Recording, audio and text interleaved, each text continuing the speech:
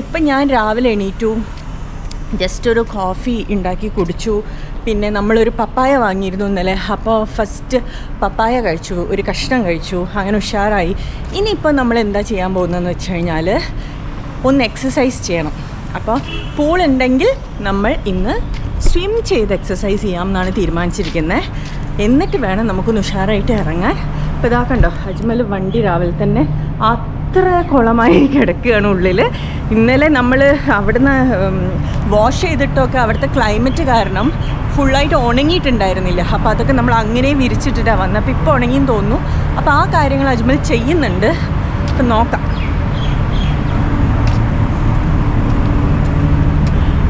Car clean ചെയ്തോ?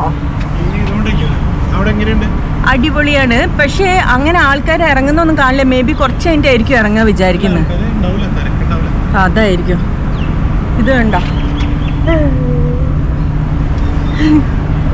എല്ലാ ഡ്രസ്സും അലങ്കോലായി കിടക്കുകയാണ് കേട്ടോ. പക്ഷെ അത് നമുക്ക് റെഡിയാക്കാം. അതിനാണല്ലോ നമ്മളിപ്പോൾ റെഡിയാക്കുന്നത്. പിന്നെ കണ്ട? വണ്ടി അഗെയിൻ ഫുൾ പൊടിയായി. അയ്യോ. അപ്പം എന്നോട് നമ്മളുടെ രണ്ട് മൂന്ന് സുഹൃത്തുക്കൾ ചോദിച്ചു കാറൊന്ന് വല്ലപ്പോഴും കഴുകിക്കൂടെയെന്ന് അപ്പം ഞാൻ പറഞ്ഞു അങ്ങനെ കഴുകാറില്ല. അതിന് കാരണം എന്താ അറിയോ? കാറ് കഴുകിയാൽ സ്ക്രാച്ച് ആവും എന്നാണ് അജ്മൽ പറഞ്ഞത്.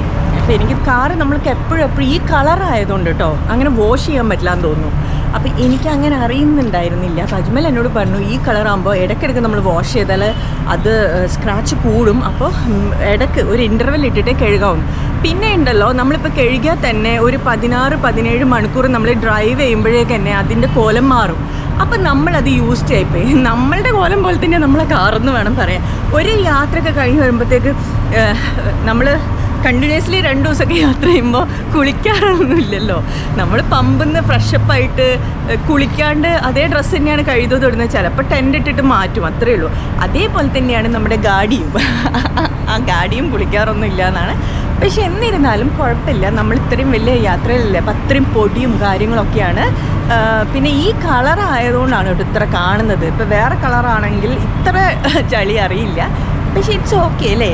ഈ ചളിയും കിടക്കട്ടെ. നമ്മൾ അത്ര ഓടി വന്നതിന്റെ ഒരു ചളിയല്ലേ അവിടെ കിടക്കട്ടെ. നമുക്ക് ഇടയ്ക്ക് കഴുകുക അപ്പോൾ ഇതേ നമ്മളപ്പോൾ ഇന്നത്തെ ഡേ തുടങ്ങുകയാണേ. ഇന്നത്തെ ഡേന്റെ പ്ലാനിങ് എന്ന് പറഞ്ഞാൽ നമ്മൾ ബീഹാറിലേക്ക് സ്റ്റാർട്ട് ചെയ്യുക എന്നുള്ളത് തന്നെയാണ്. എന്നിരുന്നാലും അതിന്റെ മുമ്പ് ഇവിടെ കുറച്ച് നേരം സ്പെൻഡ് ചെയ്തിട്ട് വേണം ഇറങ്ങാൻ.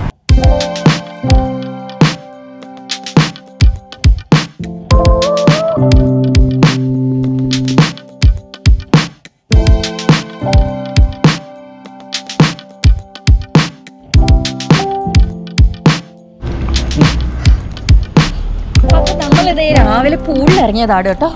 അപ്പൊ ഒന്ന് എക്സസൈസ് പൂളിലാവാന്ന് വെച്ചു.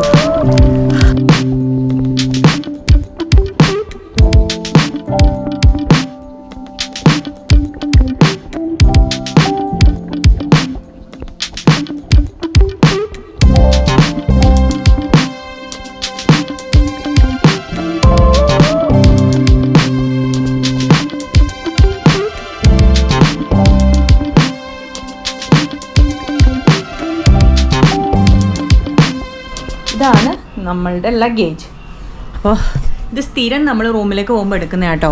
അതിൽ ആ പച്ച ബാഗിൽ നമ്മുടെ സാധനങ്ങളാണ് ചായയും കാര്യങ്ങളൊക്കെ ഉണ്ടാക്കാറുള്ളത് പിന്നെ ഇതെല്ലാം നമ്മുടെ ഡ്രസ്സിന്റെ ബാഗ് അത് ലാപ്ടോപ്പിന്റെ കാര്യങ്ങൾ ചാർജേഴ്സ് വെക്കുന്നത് പിന്നെ ഇത് കൂടാണ്ട് ഒരു ലാപ്ടോപ്പ് വെക്കുന്ന ഒരു ബാഗ്.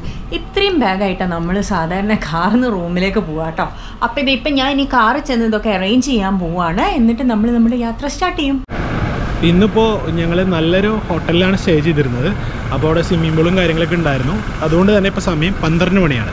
സിലിഗുരിയിൽ നിന്ന് നമുക്ക് north east travel north east travel ചെയ്ത് സിലിഗുരി വരുന്നവർ ബീഹാറിൽ പോകുമ്പോൾ ഞാനിവിടെ ടാക്സി ഡ്രൈവേഴ്സായിട്ട് സംസാരിക്കാറാണ് പതിവ്. റൂട്ട് ഗൂഗിൾ മാപ്പ് നോക്കാറുണ്ടെങ്കിൽ ടാക്സി ഡ്രൈവേഴ്സായിട്ട് സംസാരിക്കാറുണ്ട്. ഇവിടുന്ന് നമുക്ക് ഏകദേശം ഒരു പത്ത് മണിക്കൂർ പന്ത്രണ്ട് മണിക്കൂറിനുള്ളിലാണ് ടൈം കാണിക്കുന്നത്. ബീഹാറിലെത്താൻ. ബീഹാറിലെ പാട്ന അല്ലെങ്കിൽ ടൂറിസ്റ്റ് സ്പോട്ട് സ്പോട്ടായിട്ടുള്ള ഗയ. പാട്ന എന്ന് പറയുന്ന സ്ഥലത്തും നമുക്ക് കുറേ കാര്യങ്ങൾ കാണാനുണ്ട്. ഗയ എന്ന് പറയുന്ന സ്ഥലത്തും കാണാനുണ്ട്. ഇൻ ബിറ്റ്വീൻ ആ റൂട്ടിലാണ് പ്രധാന ടൂറിസ്റ്റ് കേന്ദ്രങ്ങൾ എന്നാണ് ഞാൻ മനസ്സിലാക്കുന്നത്. ഗയയിൽ പോകണോ പാട്നയിൽ പോകണോ എന്ന് ഞങ്ങളിപ്പോൾ തീരുമാനിച്ചിട്ടില്ല. ഗയയിൽ കുറച്ചും കൂടി സമയം എടുക്കുന്നുണ്ട്. പാട്ന കുറച്ചും കൂടി നേരത്തെ എത്തുന്നുണ്ട്. ഒരു രണ്ട് മണിക്കൂർ മൂന്ന് മണിക്കൂറിന് മാറ്റം ഗയയും പാട്നയും നമ്മൾ ഇവിടുന്ന് ട്രാവൽ ചെയ്യുമ്പോൾ ഉണ്ട് ഈ അത് ഒരു പുണ്യ എന്ന് പറയുന്ന ഒരു കോമൺ പ്ലേസിൽ എത്തുമ്പോൾ അവിടെ നിന്നാണ് ഡൈവേഷൻ വരിക. അവിടെ എത്തുമ്പോഴത്തേനും നമ്മൾ തീരുമാനിക്കും. അപ്പോൾ കിലോമീറ്റർ വൈസ് പറയുകയാണെങ്കിൽ ഏകദേശം ഒരു നാനൂറ് കിലോമീറ്ററോളം എന്റെ ഒരു ഓർമ്മയിൽ നാനൂറ് കിലോമീറ്ററോളാണ് ട്രാവൽ ടൈം വരുന്നത്. നാനൂറ് അഞ്ഞൂറ് ആ റേഞ്ചിൽ ട്രാവൽ കിലോമീറ്റേഴ്സ് ഉണ്ട്. ഇന്നത്തെ ട്രാവൽ പ്ലാൻ എന്ന് പറഞ്ഞു കഴിഞ്ഞാൽ ഗയ അല്ലെങ്കിൽ നമ്മളുടെ പാട്ന എത്താന്നുള്ളതാണ് അപ്പോൾ പുറപ്പെടുന്ന സമയം പന്ത്രണ്ട് മണിയാണ് ഉച്ചയ്ക്ക് പന്ത്രണ്ട് മണിയാണ്.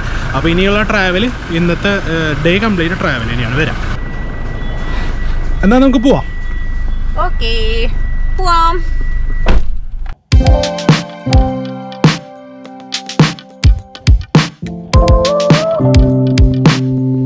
നമ്മളിപ്പോൾ സിലിഗുരിയിൽ കൂടെ പോയിക്കൊണ്ടിരിക്കുകയാണ് കേട്ടോ. അപ്പോൾ നമുക്ക് കാണാൻ പറ്റുന്നത് എന്താ വെച്ചാൽ ഫുൾ പൈനാപ്പിൾ കൃഷിയാണ്. നമ്മൾ നോർത്ത് ഈസ്റ്റിലും ഇതേപോലെ ഒരുപാട് പൈനാപ്പിൾ കൃഷി കണ്ടിരുന്നു.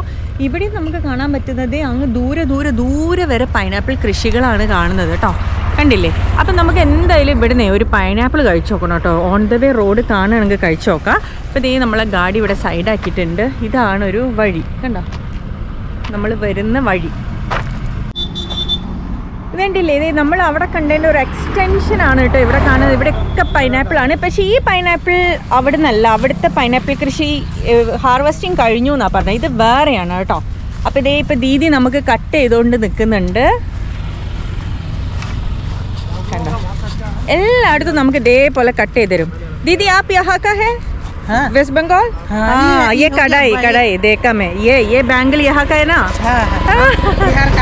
ബംഗാൾ കാ അപ്പൊ നമ്മൾ ഒരാളെ കണ്ട അവരുടെ വള കണ്ടാൽ നമുക്ക് അറിയാം കേട്ടോ അവര് ബംഗാളിയാണ് കാരണം എല്ലാ ലേഡീസ് ഇതേപോലെ വള ഇടും ഏനാ ദീദി ये आपका हम हिंदू है ना हाँ इसीलिए ये ये पहनता है ना हाँ हाँ हम्म, गणपत दीदी आपका नाम चमेली देवी छमेली देवी ओके ഭയ്യ ഹസ് രഹാ ഹേ തോ ഇതാ ഇത് കണ്ടോ? ഇവിടെ ഇങ്ങനെ നമുക്ക് സ്റ്റാൻഡ് ഇട്ടിട്ട് നമുക്ക് തരും. അപ്പം നമ്മളിതേ കഴിച്ച് നോക്കണം കഴിച്ച് നോക്കണം എന്ന് പറഞ്ഞാൽ പൈനാപ്പിൾ ആണ് ഇപ്പോൾ കഴിക്കാൻ പോകുന്നത് കേട്ടോ. അപ്പോൾ പൈനാപ്പിൾ വളരെ നല്ലതാണ് കാരണം എന്താ വെച്ചാൽ നമ്മൾ യാത്ര ചെയ്യുമ്പോഴേ നമുക്കിങ്ങനെ കുറേ ഇതേപോലത്തെ ലോങ് ഹൈവേസിൽ ഇങ്ങനെ ഇരുന്നല്ലേ ഓടിക്കുന്നത് അപ്പം നമുക്ക് എന്ത് സംഭവിക്കുന്നത് വെച്ചാൽ ചിലപ്പോൾ ഇങ്ങനെ തല ഇങ്ങനെ എന്തോ പോലെ ആകുമ്പോൾ പൈനാപ്പിൾ കഴിച്ചാൽ ആവില്ല എന്നാണ് എന്റെ പുതിയ കണ്ടുപിടുത്തം. അതുകൊണ്ട് ഞാൻ പൈനാപ്പിൾ എപ്പോഴും പ്രിഫർ ചെയ്യാറുണ്ട്.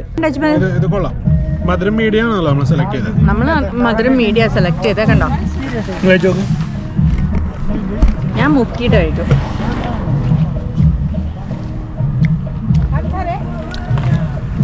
നല്ലതാണ്. നല്ല ജ്യൂസിയാ നല്ല വെള്ളം വരുന്നുണ്ട്. പിന്നെ മധുരം മീഡിയം ഇവിടെ മഴ പെയ്യാൻ പോകുന്നുണ്ട് കേട്ടോ. ബീഹാറിലേക്ക് എന്റർ ചെയ്ത് കഴിഞ്ഞു. വലിയ ചെക്ക് പോസ്റ്റ് ഒന്നും ഇല്ല കേട്ടോ. ഇത് അവിടെ ഒരു ചെക്ക് പോസ്റ്റ് ഉണ്ടായിരുന്നു. അത് കഴിഞ്ഞിട്ട് നമ്മൾ നമ്മളിതാ വണ്ടിയിൽ വന്നിട്ട് ഇവിടെ നിന്നാണ് ഫുഡ് കഴിക്കാൻ കയറുന്നത് അപ്പോൾ ബീഹാർ എത്തി നമ്മൾ നമ്മളല്ലേ ബീഹാർ എത്തി. ഇവിടെ വെളിച്ചടിക്കാൻ ഇവിടെ വെക്കാം. അപ്പൊ അപ്പോൾ ബീഹാർ എത്തി എന്നാണ് ഇപ്പോൾ മനസ്സിലായത്. നമുക്ക് മനസ്സിലായിട്ടുണ്ടായില്ല ആക്ച്വലി ബീഹാർ എത്തിയോ. അപ്പോൾ ഇവിടെ ഫുഡ് കഴിക്കാൻ വന്നപ്പോൾ ഈ ചേട്ടനോട് ചോദിച്ചപ്പോഴാണ് ബീഹാർ എത്തി എന്ന് പറഞ്ഞത് നല്ല ചോറും ഇതേ ബീഫ് കറി ഉണ്ട് പിന്നെ വേറൊരു കറി ഉണ്ട്. ഇതാണ് നമ്മളിന്ന് ഇത് കഴിക്കുന്നത് അപ്പോൾ ഫുഡ് എങ്ങനെയുണ്ട്? അടിപൊളിയാണ്. നല്ല ടേസ്റ്റുള്ള ബീഫാണ്. നല്ല ഗ്രേവി അല്ലേ? പിന്നെ ഇവിടെ ഒരു ബീഫ് ടിക്ക ഉണ്ട്. ഒരു ഉണ്ടയാക്കി വെച്ചിട്ട് അടുപ്പിൽ കാട്ടി അപ്പം തന്നെ ചുട്ട് തരും. അതായത് നിങ്ങൾക്ക് ട്രൈ നോക്കാം. എന്തായാലും കഴിച്ചു കഴിച്ചു കിട്ടും നോക്കാം. ബീഫും മട്ടനൊക്കെ കിട്ടും മീറ്റ് ബോൾസ് നല്ല ടേസ്റ്റ് ഉണ്ട്. വില കുറവാണ് എല്ലാത്തിനും? ഇത് ഇതിനു മുമ്പ് നമ്മൾ കാരക്കുടിയിൽ നിന്ന് മട്ടന്റെ ബോൾ കഴിച്ചിട്ടുണ്ട്. കാരക്കുടിയിൽ ഫുഡ് കഴിച്ചപ്പോൾ ഇപ്പൊ ബീഫിന്റെ ബോളാണ് ടേസ്റ്റ് ഉണ്ടോ? ഞങ്ങൾ ഭക്ഷണം കഴിച്ചിറങ്ങി. അവിടെ നമ്മൾ ഒരു ചോറ് കഴിച്ചു. പിന്നെ അതുപോലെ തന്നെ ബീഫ് കറി കഴിച്ചു. പിന്നെ ഒരു മീറ്റ് ബോൾ കഴിച്ചു. പിന്നെ അതുപോലെ തന്നെ മൂന്ന് റൊട്ടി പാർസൽ വാങ്ങി. നല്ല ഫുഡ് ആയതുകൊണ്ട് പാർസൽ വാങ്ങി. അതുകൂടാതെ നമ്മളെ കഴിച്ച ബീഫ് ഫുള്ളാക്കിയില്ല കാരണം യാത്ര ചെയ്യുന്ന ഞങ്ങളൊരു സ്ഥലത്ത് ലൊക്കേറ്റ് ചെയ്യാതെ യാത്ര ചെയ്യുമ്പോൾ അധികം കഴിക്കൂല. അപ്പോൾ ഒരു ബീഫ് കറി തന്നെ ഞങ്ങൾ ഫുള്ളാക്കിയില്ല അപ്പോൾ അത് പാർസലാക്കി അപ്പോൾ ഒരു അതിൽ ഗ്രേവിയൊക്കെ ആഡ് ചെയ്ത് തന്നു. അങ്ങനെ നല്ല ഫുഡായിരുന്നു അപ്പോൾ നിങ്ങൾക്ക് ആരാണെങ്കിലും ബീഹാറൊക്കെ വരുമ്പോൾ ഇവിടെ മുസ്ലിം ഹോട്ടലുകളുണ്ട്. അല്ലാത്ത ഹിന്ദു ഹോട്ടലുകളുണ്ട്. അപ്പോൾ നോൺ വെജ് കഴിക്കണമെന്ന് തോന്നുകയാണെങ്കിൽ മുസ്ലിം ഹോട്ടലായിരിക്കും ബെസ്റ്റ് ഇതൊക്കെ സിറ്റുവേഷനാണ് നമുക്ക് അതിൽ കമൻസ് ഒന്നുമില്ല. ഇവർ കാലങ്ങളായിട്ട് തുടർന്നു പോകുന്ന പുതിയ കാര്യം എന്നുള്ളത്. അപ്പോൾ അതൊന്നുമല്ല നമ്മളെ കാര്യം. നമ്മളെ കാര്യം നിങ്ങളറിയിക്കേണ്ടത് നല്ല നോൺ വെജ് ഫുഡുകൾ മുസ്ലിം ഹോട്ടലിൽ കിട്ടുന്നുണ്ട്. അതുകൂടാതെ ഞങ്ങൾ വെസ്റ്റ് ബംഗാളിൽ പോയപ്പോഴും അങ്ങനത്തെ മുസ്ലിം ഹോട്ടലിൽ നിന്ന് നോൺ വെജ് കഴിച്ചിട്ടുണ്ട്. അത് ഇപ്പൊ നമ്മൾ ഹിന്ദു ഹോട്ടൽ അത് ഇവർക്ക് കൺഫ്യൂഷൻ വരരുത്.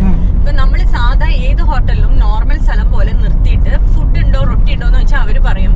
നമ്മളോട് ചോദിച്ചു എന്നോട് ഇപ്പൊ രണ്ട് സ്ഥലത്തുനിന്ന് ചോദിച്ചത് റൊട്ടി അപ്പുറം കിട്ടും നിങ്ങൾ ഹിന്ദു ആണോ എന്നാ ചോദിച്ചത് അപ്പൊ ഞാൻ ചോദിച്ചത് അതെന്താ അങ്ങനെ ചോദിച്ചേ?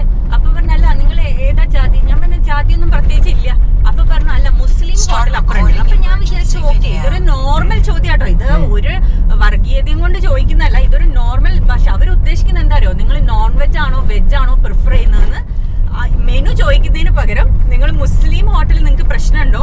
മുസ്ലിം ആണോ ഹിന്ദു ആണോ ചോദിക്കും. കാരണം ബീഫ് ഒക്കെ കഴിക്കണം എന്നുണ്ടെങ്കിൽ നിങ്ങൾ അവിടെ പോകണം എന്നാണ് അവർ ഉദ്ദേശിക്കുന്നത്. ഇതൊരു ഒഫൻസ് അല്ല. ഇത് ശരിക്കും നമ്മളവരെ റെസ്പെക്ട് ചെയ്യുന്നുണ്ട്. നമ്മളോട് ചോദിച്ച് മനസ്സിലാക്കുകയാണ്. അപ്പൊ ആദ്യം ഞങ്ങൾ യാത്ര തുടങ്ങിയ സമയത്ത് ഇത് കേൾക്കുമ്പോൾ ഒരു ഇൻസെക്യൂരിറ്റി ഫീൽ ചെയ്തിരുന്നു. വെസ്റ്റ് ബംഗാളിൽ വെച്ചാണ് വെസ്റ്റ് ബംഗാളിലെ വെച്ചാണ് ആദ്യം ചോദിക്കുന്നത്. പക്ഷെ അതൊരു അത് ഇവർ നമ്മളെ റെസ്പെക്ട് ചെയ്തുകൊണ്ട് നമുക്ക് നല്ലൊരു സ്ഥലം പറഞ്ഞു തരാൻ വേണ്ടിയാണ് ചെയ്യുന്നതാണ്. അപ്പോൾ ഞങ്ങളെ സജഷൻ നമ്മളെ നാടായിട്ട് റിലേറ്റ് ചെയ്യുന്ന മസാലയൊക്കെയാണ് ബീഹാറിലും വെസ്റ്റ് ബംഗാളിലൊക്കെ ഈ മുസ്ലിം ഹോട്ടലിൽ കിട്ടുന്നത്.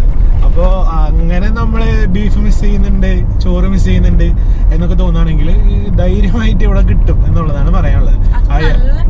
ആ, അതെ അതെ. പിന്നെ ഈ ചോദ്യത്തിൽ ഒരു ഒഫൻസും ഇല്ല. അതാണ് ഇതിലെ അറിയിക്കാനുള്ള കാര്യം. ചോദ്യം തെറ്റിദ്ധരിക്കണ്ട. ടെൻഷൻ ആവൊന്നും വേണ്ട. ഇതൊരു നോർമൽ ചോദ്യാ. ചോദ്യമാണ് ഞങ്ങളെ പ്രാവശ്യം ചോദിച്ചു ഞങ്ങൾ വരണോണ്ട് കുഴപ്പമുണ്ടോ? ഹോട്ടലിൽ കയറണോണ്ട് കുഴപ്പമുണ്ടോ? എന്ന് അവരോട് ചോദിക്കുകയാണ് നമ്മൾ കാരണം അവർ നമ്മളോട് ചോദിക്കുമ്പോൾ നമ്മളെ കാസ്റ്റ് നോക്കിയിട്ടാണോ അവർ എന്റർ ചെയ്യിക്കുക എന്ന് നോക്കുമ്പോൾ ഇല്ലില്ല നിങ്ങൾക്ക് എവിടെ നിന്ന് കഴിക്കാം. നിങ്ങൾ ഏത് മതാണെങ്കിലും ഇവിടുന്ന് കഴിക്കാം. ഏഹ് അവർ നമ്മളെ കസ്റ്റംസ് തെറ്റിപ്പോണ്ട. അതായത് നമുക്കതൊരു ഒഫൻസ് ആവരുത് എന്നുള്ളത് കൊണ്ട് അവർ ചോദിച്ച് നമ്മളോട് പറഞ്ഞു തരാണ്. അതിന്റെ കാര്യങ്ങളാണ്. അത്രയും മാന്യമായിട്ടുള്ള ആൾക്കാർ. അത്രേ ഇതിനെ കുറിച്ച് പറയാനുള്ളൂ. അപ്പൊ നമ്മൾ യാത്രയിലാണ്. ഉച്ചയ്ക്ക് പന്ത്രണ്ട് മണിക്ക് പുറപ്പെട്ട് നമ്മളിപ്പോ ഇപ്പൊ സമയത്തിനെ ഓ അഞ്ചര. അഞ്ചര. ഇനി അഞ്ച് അഞ്ച് മണിക്കൂറോട് കൂടി യാത്ര ചെയ്യാനുണ്ട്. ഇത് നാഷണൽ ഹൈവേ ആണ്. റോഡ് നന്നായി ഇമ്പ്രൂവ് ആയി. പുറപ്പെട്ടതിനെക്കാട്ടി നല്ല റോഡാണ് പോന്നിരിക്കുന്നത്. ഒരു ചായ കുടിക്കാൻ നിർത്തി. ഇതാണ് സ്ഥലം. പോകുന്ന വഴി കംപ്ലീറ്റ് കൃഷി സ്ഥലങ്ങൾ എല്ലായിടത്തും അങ്ങനെ തന്നെയാണ്. നമുക്ക് ഒരു ഒഴിഞ്ഞൊരു സ്ഥലം കാണാൻ പറ്റില്ല. കേരളം വിട്ട് കഴിഞ്ഞാൽ എല്ലായിടത്തും കൃഷിയുണ്ട്.